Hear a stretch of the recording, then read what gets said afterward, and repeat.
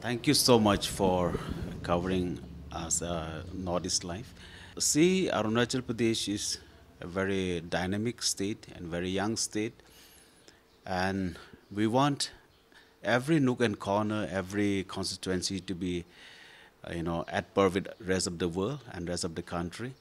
So, uh, in the in such a situation, uh, we also want to go along with the government because we are sent by the people with a lot of expectations. We believe that under the leadership of our Honorable Chief Minister Pema Khanduji, every constituencies will be taken care of. Every, irrespective of any political affiliation, uh, this is how we have decided. Three of us, uh, independent MLAs, we have decided to uh, extend uh, unconditional support to the Pema government. And we are here to uh, support the policies and programs of the government in whatever possible ways we can. I believe under their leadership, the state would witness the new era of development in the days to come.